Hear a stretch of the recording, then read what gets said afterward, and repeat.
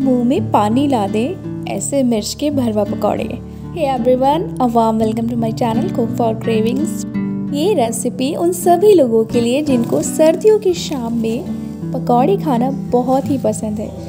आगे वीडियो में आप देखेंगे कि हम बहुत ही टेस्टी से स्टफिंग बनाएँगे, जिनसे इन पकौड़ों का जो टेस्ट है, बहुत बढ़ जाएगा। इसके लिए मैंने यहाँ पर 250 ग्राम ये हरी मिर्चें ली हैं।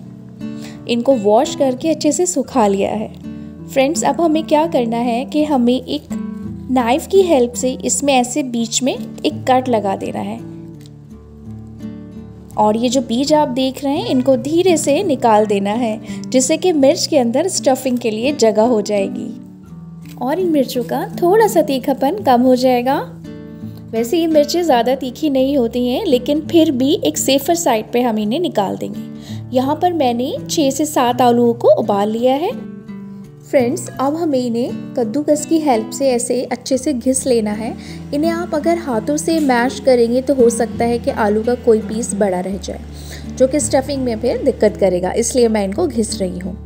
मसाले ऐड करते हैं। वन टीस्पून कश्मीरी लाल मिर्च है one teaspoon chaat masala one teaspoon काला नमक है वन टीस्पून अमचूर पाउडर लिया है और वन टीस्पून ज़ीरा पाउडर है। और सादा नमक थोड़ा सा वो भी हम ऐड कर देंगे। और उसके बाद आप इसको तेज़ ज़रूर कर लें कि ये आपका नमक तेज़ ना हो जाए। हरा धनिया भी ऐड कर दिया, अच्छे से मैश करेंगे। वन टीस्पून राई और वन टेबलस्पून ऑयल एक तड़का तैयार करेंगे और आलू पर पोर कर देंगे। इससे हमारे स्टफिंग का जो टेस्ट है, बहुत बढ़ जाएगा। और फ्रेंड्स पक्का आप यहाँ पर टेस्ट करके देखें। आप इसको पूरी और पराठे से भी इस टाइम पर बहुत मज़े से खा सकते हैं। अब चलिए हम स्टफिंग शुरू करते हैं। थोड़ा थोड़ा आलूओं का मिक्सचर लेकर हम मिर्चों में धीरे धीरे भर देंगे। लेकिन यहाँ पर ये ध्यान रखें कि जब आप इनको फ्राई करेंगे ना तो ये थोड़ी श्रिंक होंगी। यानी कि जो इनका स्टफिंग होगी, वो श्रिंक हो जाएगी। तो आप इसको यहाँ पर स्टफिंग ज़्यादा लेनी है, ज़्यादा भर देनी है मिर्चों के अंदर।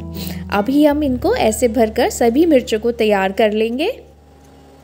देखिए फ्रेंड्स, सभी मिर्चों को बहुत अच्छे से स्टफ़ कर दिया है मैंने आलूओं से। अब इनको साइड में रखते हैं और बैटर तैयार करते हैं बेसन लेकर। एक कप बेसन का मैं यहाँ पर यूज़ कर रही हूँ। वन टीस्पून मैंने कश्मीरी लाल मिर्च ऐड करी है, वन टीस्पून अमचूर पाउडर है और वन टीस्पून चाट मसाला। थोड़ा सा नमक, one teaspoon ginger garlic paste भी ऐड कर दिया है और थोड़ा सा नमक।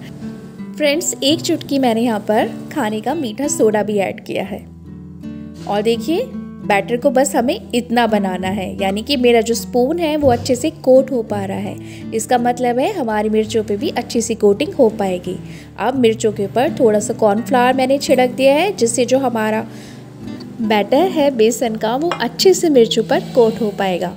अब मीडियम हॉट ऑयल में फ्रेंड्स इसको हमें फ्राई कर लेना है।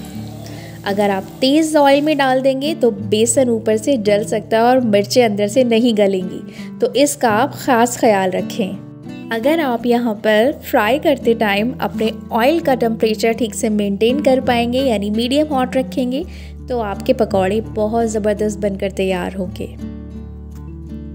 देखिए फ्रेंड्स यहाँ पर ये अच्छे से फ्राई हो चुके हैं।